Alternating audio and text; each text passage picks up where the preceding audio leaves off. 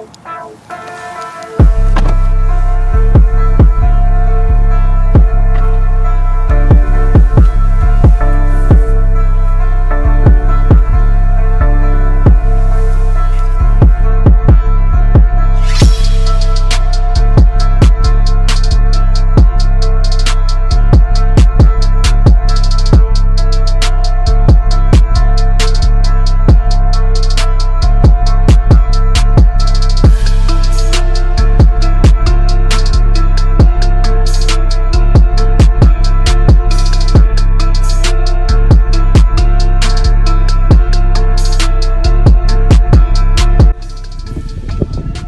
this fool finally got here. Tell, tell America why you late today. Bruh, a funeral, bruh. Certain nation today, you know what I'm saying? The folk like that don't want to do them. Struggle real. I don't do them so the people like that can get the credit that they so desperately deserve. I've done my active time. that. He's he's, he's a reserve. He's a reserve reservist. I'm an active reservist. Don't listen to that, man. All right, so we're gonna start this 18. Back with you. Hey, what's going on YouTube? It's Ill Will. I'm back in the house. Uh, just finished playing golf. It's a nice, wonderful Sunday. Been blessed. Went to church. Now I'm back, and today I want to do a review on my favorite lens.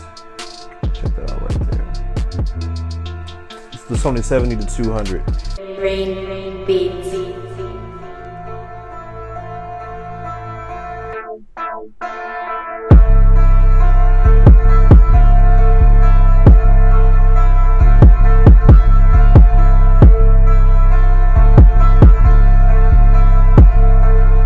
Sony 70 to 200. Uh, the f4 because I don't have money for the f2.8. That's just it's ridiculous. It's for professionals anyway. But I'm not a professional. I'm just an amateur photographer. Uh, this lens is lightweight. Uh, it's in that like professional grayish white color. I mean, people you know can't miss this. Uh, it contrasts the camera very well. Also has a lens hood. I use the uh, Tiffen 72 millimeter, the circular polarizer. Uh, it's definitely great. You can check my uh, description out. I have a link if you want to go get that. And also, this is not the G Master. This is just the G uh, series 70 to 200. Uh, once again, f4, uh, f4, uh, 70 to 200 G with the optical. This camera also has the optical steady shot, so um, you know you don't have to worry about a lot of shaking in your shots or just that it kind of eliminates pretty much the jitters of what you're shooting in video um, and so I like that feature a lot. But I mean the lens hood makes it a little bit longer lens as you can see but at the same time uh, compared to my I used to have an A77 and any 70 to 200 whether it be a Tokina or um, what's another brand? I can't think of the name of the brands. There's so many different brands that make something for Sony right now. Uh, third party uh, lenses are usually heavier. A lot of third party lenses are always heavier but this one is just so light and it mounts real easy. It's the E mount of course. Um, I'm actually shooting A7 II. I gotta stack my bread up for that A9, man. I'm an amateur. I don't really have a lot of money, so uh, definitely. Let me see if I can get this on here. But easy installation. Just like that. So even with the uh, with the camera, it's a little bit longer and you can see how if you have this out in public it just kind of like stands out i know everywhere i go with this thing everybody's always like oh you're a professional photographer. Or who are you with? Uh, are you with the paper? Are you with augusta chronicle? Uh, you with news 12 or something like that? And uh, I, mean, I mean it just looks ex- expensive. Uh, this one i got on uh, amazon uh, i think for one of their thanksgiving you know like the black sale or I got this for the electronics for Black Friday, uh, and it cost me around. Uh, I think at that time it was 800, 900 bucks, and then the f2.8 version actually costs twice as much. Like I said, it takes wonderful pictures. It takes wonderful video for me from afar. And I'm a street photographer, so that's why I like using 70 to 200 because I can stay kind of far away from my subject without them knowing that I'm there. And this camera is just good for that when you just kind of like hide in the cut. No, oh, oh, snipe, snipe. It's like when I'm trying to snipe people with my shooting skills, you know what I'm saying? I really don't want them to be, to know that I'm there. And because people just act different when they know a camera's watching them or when they see the opportunity for a photo shoot. And I don't want that. Also good for portrait photography, it's good for sports. Um, as you can see from the pictures, uh, I really don't have too much of an issue shooting in sports.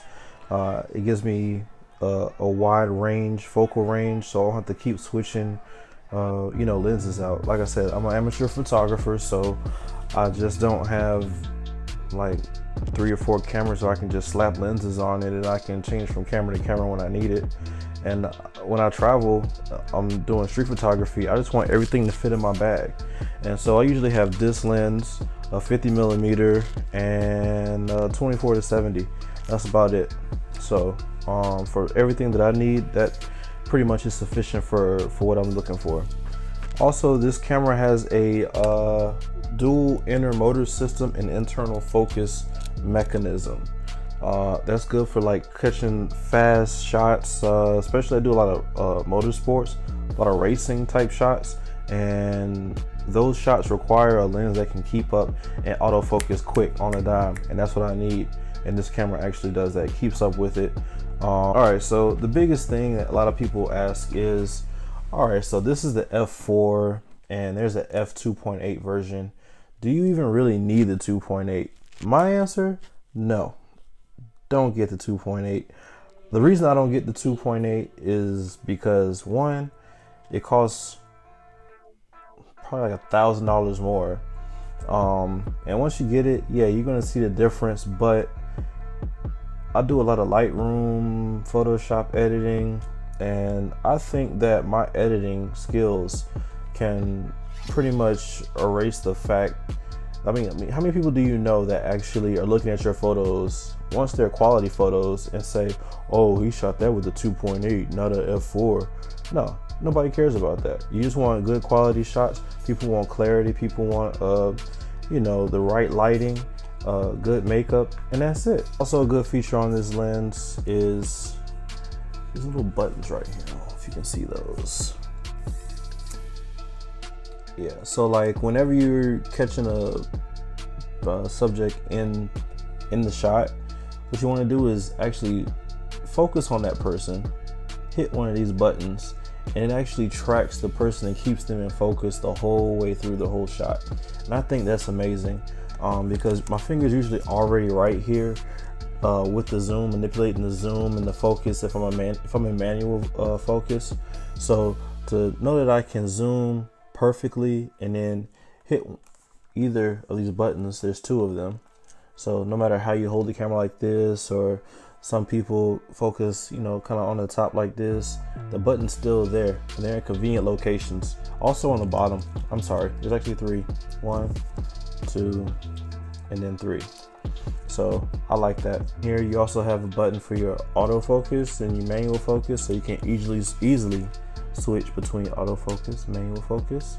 The next button here is your full or the crop sensor button.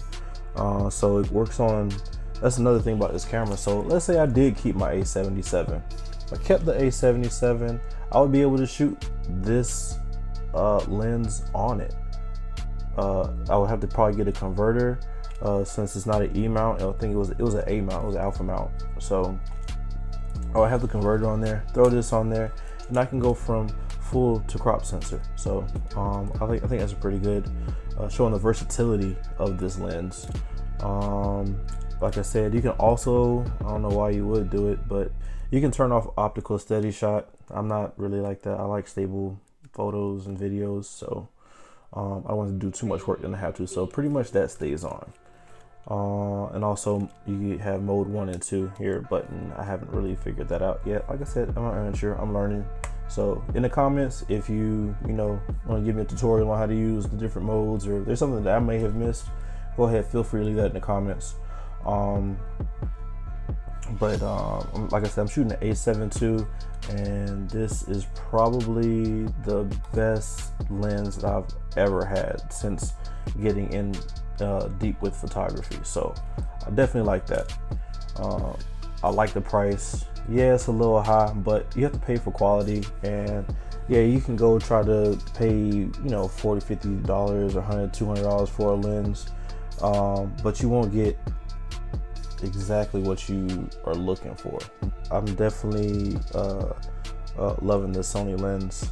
Um, and I think with this lens, whatever you pay for it, you're definitely going to feel like you got your money's worth. So, check the pictures out. Check some more of the video that I footage that I've taken with this lens. Um, like, share, subscribe, and hey, my Instagram. I have all my shots, uh, my daily photos, um, some thoughts of the days. And if you can't, leave in the comments what you like to see more of, what you wouldn't like to see more of, maybe what I should talk about, and you know, throw around some ideas for some stuff that I can put on the channel.